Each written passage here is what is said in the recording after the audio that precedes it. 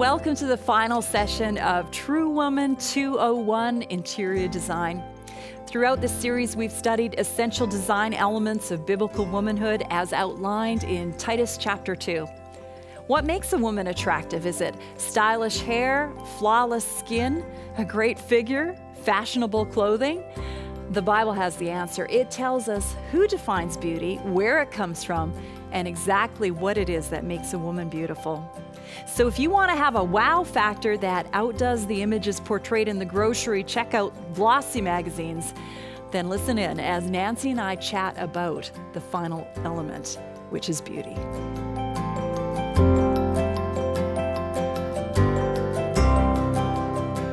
Well, for those who've been listening to this conversation we've been having, Mary, nobody can imagine, except us, all that we've been through to pull together this shoot. And it's been days here of wardrobe issues, challenges, matching our clothes. We have very different styles mm-hmm. hair and makeup and set and context. And I, I brought mostly red clothes. You bro- brought mostly pink. so that did not, trying to put those that together. did not work very well. so I'm saying the next series we do, I think, should be called Authentic Womanhood.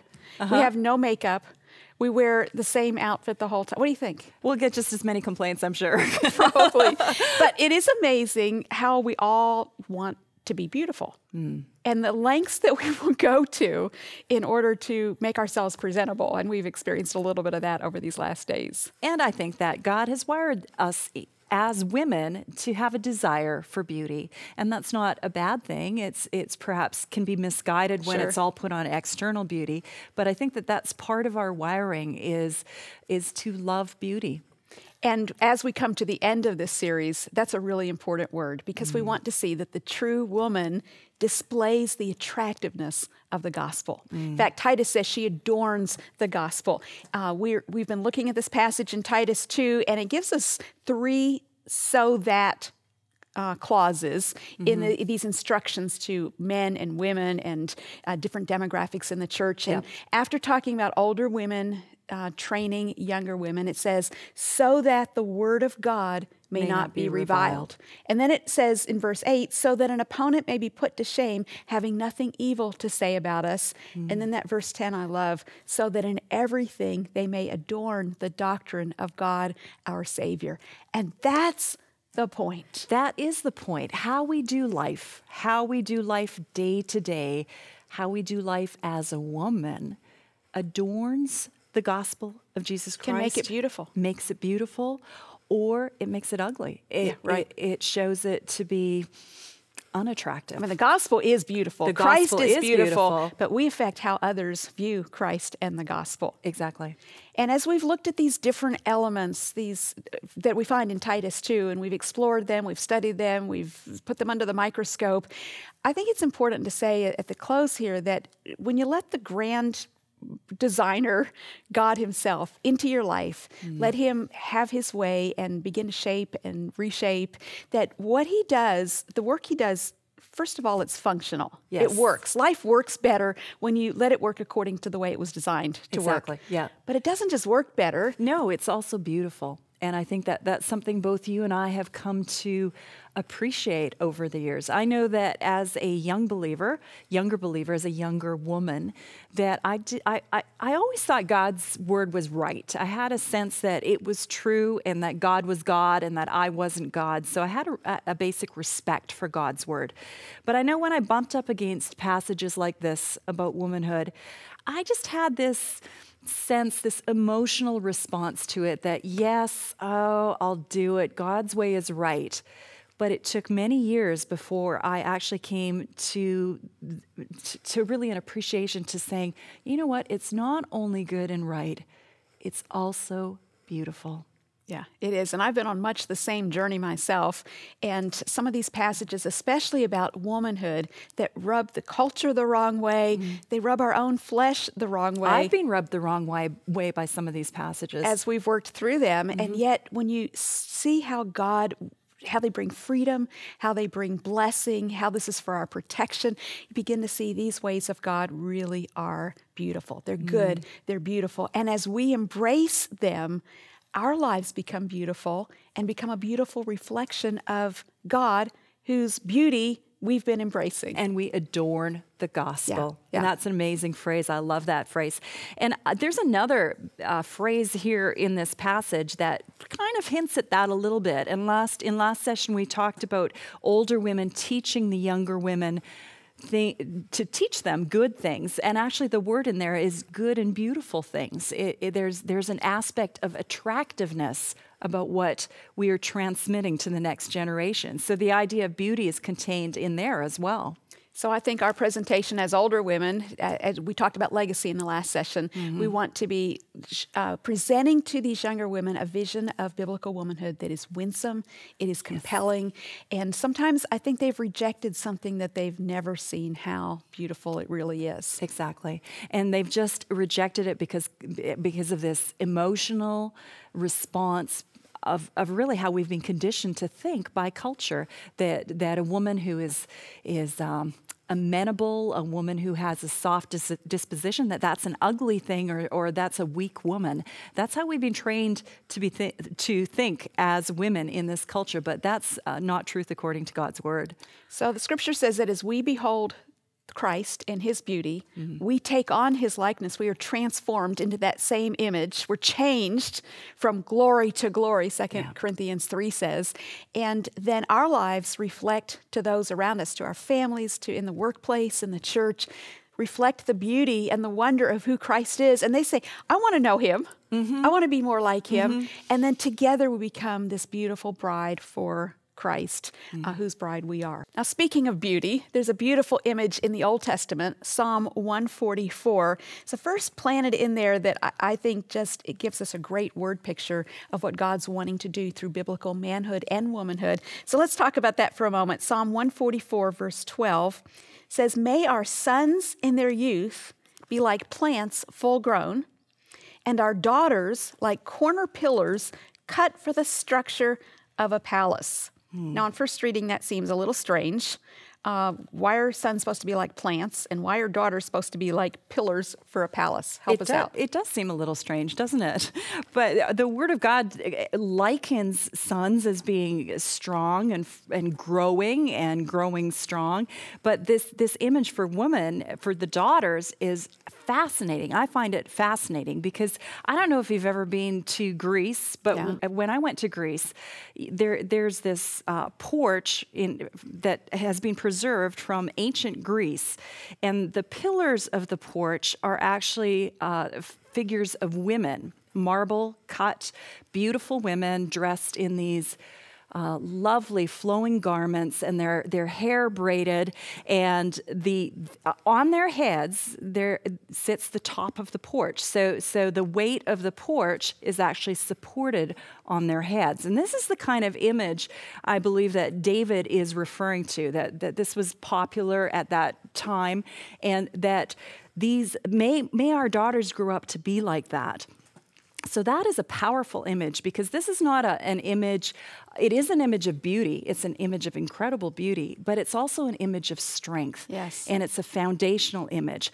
So when women are living according to God's design, when we get this and when we begin to live it out in our lives, it's foundational. And it's foundational for the structure. It's foundational for the structure of the home and it's foundational for the structure of society. And not only do we beautify things as women, but we also give them strength and give structure in terms of, of, of, the family structure and the way God has designed things to be. Yeah, there's a sense of stability mm. that women can give to a culture, to their home, to their community by being women of God by living out their God created design, one godly woman in a home exactly. can be that pillar. Can make a difference. I want to read this quote, and it's a quote by the 19th century British pastor John Angell James. And here's a portion of it. It is so powerful. Every woman, by her virtue or her vice, by her folly or her wisdom, by her levity or her dignity, is adding something to our national elevation or degradation. A community is not likely to be overthrown where woman fulfills her mission, for by the power of her noble heart over the hearts of others, she will raise that community from its ruins and restore it again to prosperity and joy. Women are such powerful influencers, such powerful influencers. And I've heard people say things like, if I were going to decide whether or not to be a Christian by looking at that person who calls himself a Christian, I wouldn't be interested. Mm. And it makes me wonder do our lives create hunger and thirst uh, among those who don't know Christ, yeah. among yeah. the next generation to say, I want that Christ. I think of a, a, woman who brought her husband to church. Actually, there was a baptism in my church a few weeks ago, and the man got up and said that his wife had come to the Lord before he had, and that it was just the transformation in her life. And she didn't say a thing to him, but it was just the change, the radical change in her life that really drew him to Christ. And, and it was the beauty that he saw coming to the surface as she began to be transformed into the image of Jesus that drew him to Christ. So we see it on the negative way, but we yes. also see it the positive yes. way where when when we shine that light of Christ and when we work out these 10 elements in our lives that it is attractive. And more and more I think as we see more family breakdown, more breakdown, more confusion in terms of gender and identity, more people wrestling with these things, more pornography, more more evil all around mm-hmm, us, mm-hmm. the more we see that, the more I think that Christ's light will shine through us as we do life according to his design. And this is really where we started out in Titus, too. Mm. Paul is saying that in this context of this fallen culture in which they lived, yeah. Nero's Roman Empire, the persecution against believers, the rampant, flagrant immorality, the um, false doctrine, the false teaching, many false religions that were much more prominent than Christianity mm-hmm. at the time. Yeah. And um, Paul was saying, how do you survive? and a, thrive and thrive in this kind of world and how do you how do we draw people to christ mm-hmm. and what he comes back to again and again is that our lives whether men or women young or old are supposed to look radically different than the rest of the world. Mm. And if we're just fitting in, assimilating into the culture, just being talking and acting and thinking and being like everyone else, the world's not interested in that kind of Christianity. No. And that's when Paul says in Titus 2 that the word of God will actually be the word in our translation is reviled, but it's a word that means to be blasphemed. Mm. People will actually reject Christ and Christianity if they see us professing something that we but don't live out, it out, but not living it out, but yeah. not living it out. Now, as we think about this whole thing of beauty, if we're talking about beautifying the gospel, about being a radiant bride of Christ for the world to be drawn to Him. Uh, but I think there's also this issue of, as women, this craving for beauty, this mm longing for beauty. And there's kind of a push pull because um, we say, you know, cultivate the inner beauty Peter talks about in 1 Peter chapter 3, a gentle and quiet spirit. Uh, but what about the external? Is it meaningless? Does it matter at all? Is it okay to think about it? How should we think about it? Well, I, I always think that what we see in the physical realm points us to the spiritual realm. And scripture draws these parallels and it, it, it, talks in metaphors often. So when it talks about being pure, it talks about a bride keeping her dress pure. So that's something that in the natural realm, a bride does. She, she's fussy about her dress. She wants to keep it spotless. She wants to look beautiful. She wants to present herself to her groom looking just as great as she can. And the Bible doesn't condemn that, but it calls us higher than that. It calls us to the reality to which that earthly temporary reality points. And that is the bride of Christ and keeping ourselves spiritually pure and spotless so that we may be beautiful for our Savior. So, as we think about these 10 elements that we've looked at, I want to just walk through those real briefly and refresh our memory as to what they are, and then just remind each other that these things are not only true and right, but that they are good and beautiful. And beautiful. So we started out with discernment. Mm-hmm discernment, learning how to think correctly in every aspect according to sound doctrine, and talked about that right thinking leads to right living. And oh, how we need discernment in our culture. We have all these messages that are pushed, and these messages that tell us who we are and how we ought to behave as women.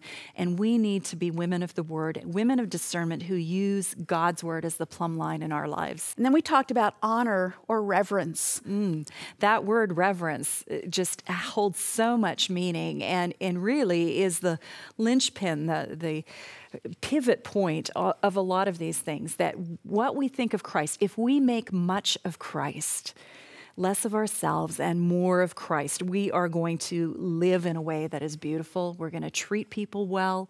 We're going to speak well. We're going to uh, have a lot of things fall into place in our lives simply when we have that awareness that Jesus is always there. And that reverence for Christ is a good and a beautiful thing. Mm-hmm. We talked about family affection, mm. loving husbands, loving children, especially your own, and esteeming God's family plan. And that's a good and a beautiful thing. And a thing that's just as important for singles as married. Yes, yes. Mm. And then the area of discipline, that was a hard one for it me. Self control. Making those wise choices, those intentional choices, and being self controlled and, and how that brings joy, and that also is a good and beautiful thing. And then there was virtue, mm. purity. You don't hear that word virtue very often. We need to hear it more. And our world says that virtue is not that attractive. The world despises virtue. It despises virtue. But those who despise virtue often are the ones who end up with the heartache and the pain, unintended mm-hmm. consequences. Mm-hmm. So we need to remind each other that virtue is a good and a beautiful thing. Mm. We also talked about responsibility. Work priorities, deciding what uh, what sort of work takes emphasis at this age in my life, this stage in my life where I am, uh, whether I have family, children, husband, how do I decide? And also the priority of the home, just how important it is, and how we can use our home as a ministry base to teach others about uh, our home, our Heavenly Father's home, and what it means to be part of the family of God. And that's a good and beautiful thing. Mm-hmm. Then we looked at benevolence or kindness, being kind, being charitable toward others, and it's obvious that that is a good and beautiful thing. It's in mm-hmm. short supply. We need lots more of it. We hardly need to say that. Everyone yearns for that. Yes. Uh, but disposition, that's another one where, where the world gives us a lot of pushback, where, where the, the Word of God tells us that a soft and amenable, a submissive spirit in, in a woman is a womanly thing, and it's a good and beautiful thing. And then we talked in the last session about legacy spiritually mothering uh, younger women, teaching those who are coming up behind us. And that is a good and a beautiful thing and mm. so needed, uh, yeah. not just to take in these things we've been talking about and become a beautiful woman ourselves, but to be interested in helping that next generation yeah. uh, follow in those steps. You know, there's a beautiful passage. I keep using that word beautiful, it's a beautiful word. uh, but in Revelation chapter 19, and I think this is just a great way to end this study. Uh, and here you have the, the vision of what's going on in heaven. Mm-hmm. And in Revelation 19, we get just a glimpse of that beginning in verse 6. Let me just read that, and then I want us to pray for those who've been joining us in this study.